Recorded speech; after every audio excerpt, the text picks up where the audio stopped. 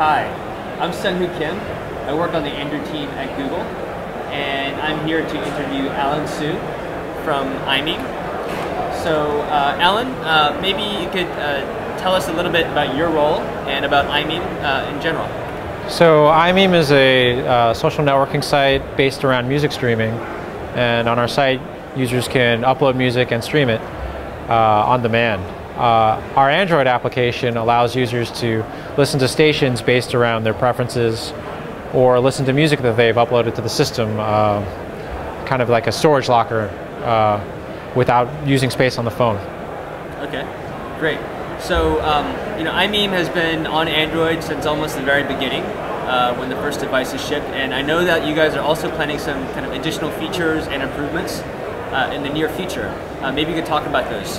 Uh, so the next release has got some kind of cupcake features and also we've just decided to do a little more integration with the system in general.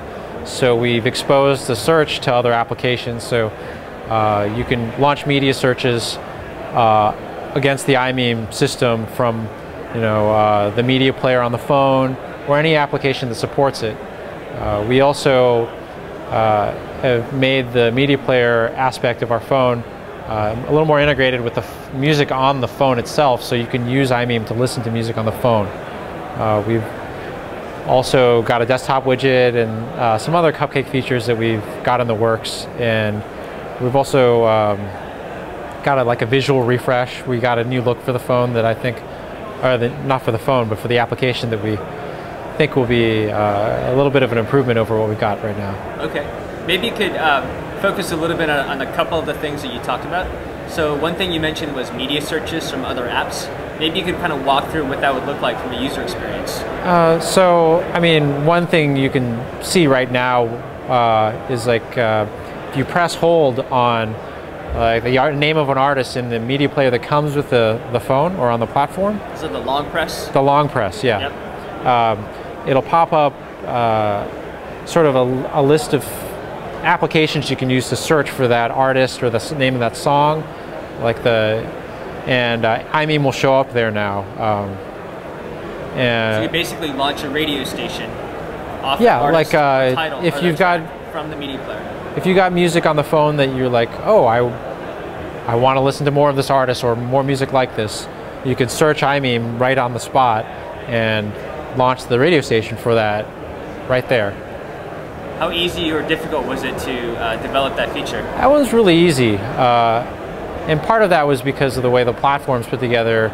Uh, you know, when launching a search like that isn't much different than launching a search within the application itself. So uh, you just have to hook up a little bit of glue and it's, it's there.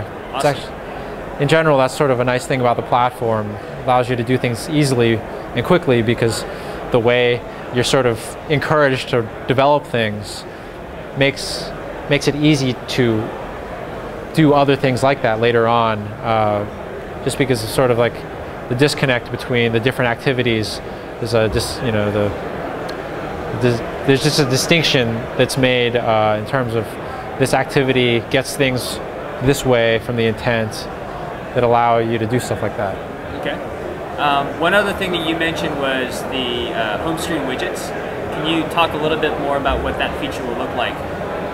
So basically, uh, from your home screen, you'll be able to see what music is playing, and you'll be able to pause the music, or skip tracks, um, or launch imeem. Okay.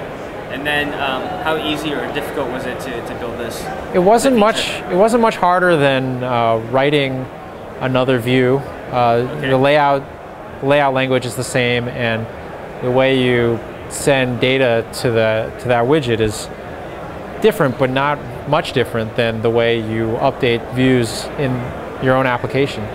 Okay, great. Um, maybe you could talk a little bit about your experience developing on, on Android 1.5 as with these new features and some of the kind of cleanup things that you talked about. Uh, what are some of the things that you liked and what are some things that you would want to have improved in the future?